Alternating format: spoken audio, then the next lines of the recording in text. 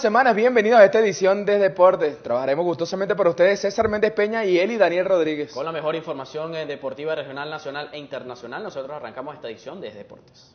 Y ya cuando faltan pocos meses para que arranque la Liga Profesional de Baloncesto temporada 2015, el conjunto Toros de Aragua sigue sumando piezas importantes para la venidera campaña. El jugador colombo venezolano Miguel Fernández asumió el reto y firmó el contrato para la próxima campaña junto a otros jugadores como Kelvin Peña, Alejandro Flores, Alejandro Barrios, Miguel Marriaga y también el jugador importado Carlos Johnson. Bueno, vengo con la mayor disposición posible, eh, la concentración máxima todo el corazón, la humildad, a dar lo mejor de sí para la zafra que viene. Eh, estoy muy contento de volver a estar aquí. Eh, todos saben que los Toros fue el, mi primer el equipo que me dio la oportunidad de jugar la LPB. Le agradezco mucho al equipo de Marinos por formarme. Eh, y no, nada, o sea, vengo con toda la mayor disposición a ponerme a órdenes del, coach que esté para dar lo mejor posible. El Aragua Voleibol Club recibió este lunes la orden Samán de Aragua en su primera clase de manos del gobernador del estado, Tarek El todo esto por haber obtenido por segundo año consecutivo el título de la Liga Venezolana de Voleibol.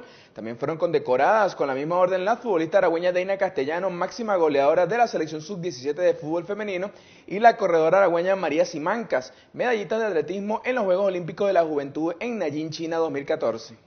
20 prospectos eh, aragüeños entre 16 y 18 años asistieron a un tryout realizado en el estadio Rafael Esteban Kinsler de Cagua donde un representante de la Major League Baseball realizó el chequeo del talento de peloteros, de los cuales ocho podrían ser firmados a futuro por cerveceros de Milwaukee.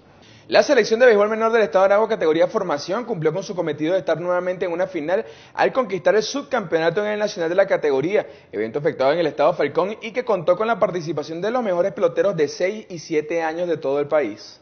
Este viernes, sábado y domingo se llevará a cabo la quinta y última válida de la temporada nacional de los piques cuarto de milla en la pista del Autódromo Pancho Pepe Crocker de Turagua, donde un aproximado de 150 competidores de las cinco categorías dirán presente en el trazado, quienes acelerarán al máximo para definir el ganador de la válida y del campeonato anual. Y Teodoro Martínez no para de producir y tras una inspirada quinta semana de la ronda eliminatoria se llevó la distinción como jugador multinacional de seguros. El jardinero de los Tigres de Aragua lideró la Liga Venezolana de Béisbol Profesional con tres honrones y 23 bases alcanzadas, todo esto del 2 al 9 de noviembre. El novato anotó seis veces otro tope durante el periodo e impulsó cuatro anotaciones. Durante un acto deportivo realizado en las instalaciones del Consejo Legislativo del Estado de Aragua, el presidente de los Tigres de Aragua, Carlos Guillén, aprovechó de realizar algunos anuncios en torno al equipo, destacando la incorporación de los peloteros grandes ligas Wilson Ramos, Jan Hervis Solarte y que están tramitando el permiso de Martín Prado. El Caracas informó que Pedro López, actual coach de banca, asume la rienda de los Leones. Todo esto a partir de ahora ya que Dave Hoyen, quien hasta este momento cumplió con esas funciones, fue relevado de su cargo.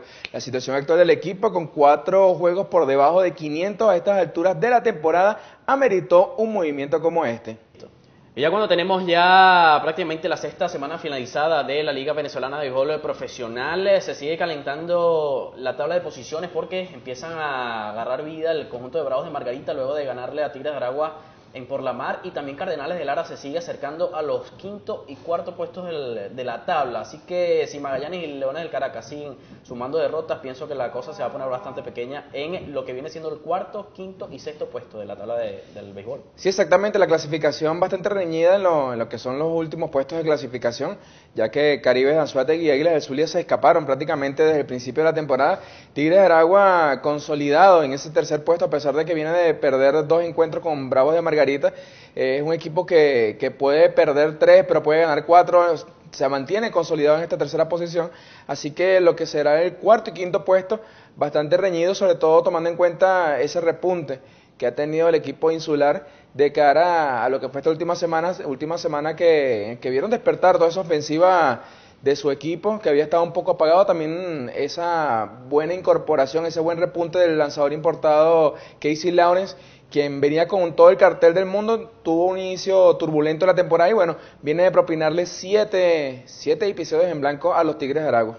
Así que toda la información que tendremos de la Liga Venezolana de Béisbol Profesional, por ejemplo, Tigres de Aragua ya está sumando pronto piezas eh, de gran valor como Wilson Ramos, eh, también ya Herbie Solarte, así que la cosa se está poniendo bastante reñida en este mes de noviembre de cara entonces a esta temporada 2014-2015 de nuestro béisbol venezolano.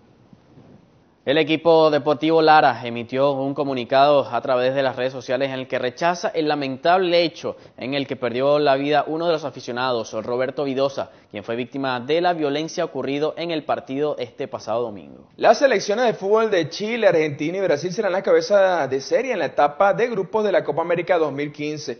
En el segundo bombo para el sorteo estarán Colombia, Uruguay y México, mientras que en el tercero aparecen Ecuador, Perú y Paraguay.